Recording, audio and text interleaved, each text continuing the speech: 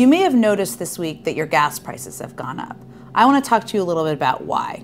A lot of it has to do with Vladimir Putin. Please, I can't answer all your questions at once.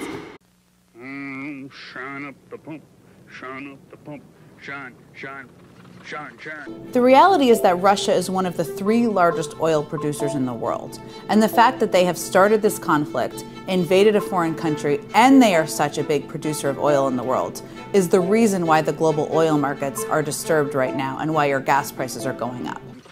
Mm, look at that, I can see my face in that. well, quite a bang there. what a, what'll it be, sir? Yeah, well, fill her up with gas, and I hope it doesn't take a long time, because I'm in a hurry. The president's going to do everything he can to bring down the price of gas for the American people. But there are a few facts you should be aware of. U.S. production of oil and gas is rising. In fact, in the first year of the Biden presidency, there was more oil and gas produced in the United States than the first year of the Trump presidency. Your father left this for you. And you alone.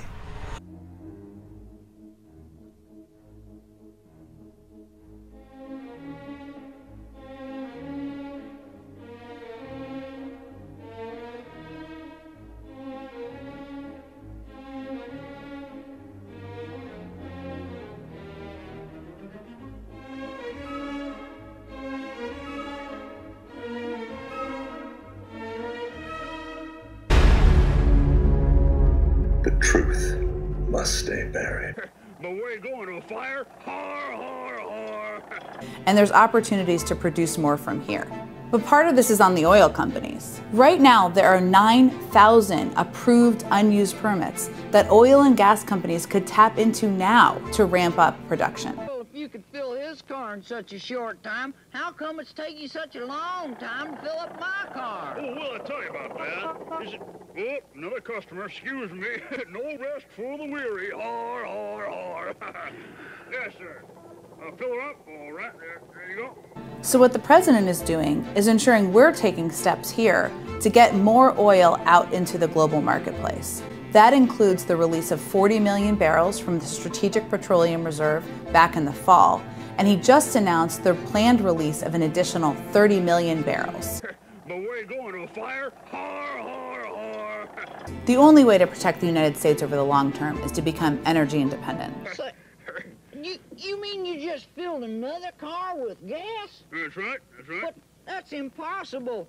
That's why the president has been so focused on investing in clean energy technologies, so that we can rely on that and not President Putin to set the price of gas. If you can fill a car with gas in such a short time, how come it's taking you such a long time to fill up my car? Well, sir, I'll tell you, see.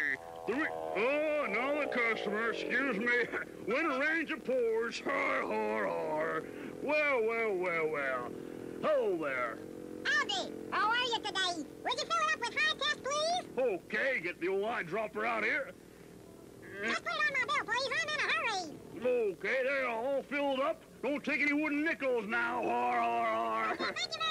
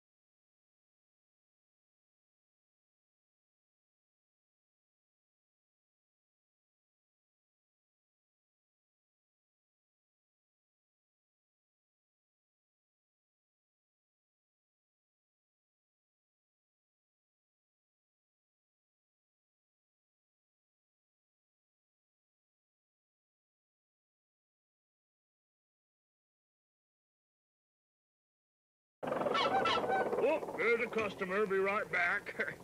yes, sir. Uh, fill it up, of course. Okay, there you go. All filled up. Okay, bye-bye now. Hey, well, you now. mean you just filled up that car with gas? Your father left this for you.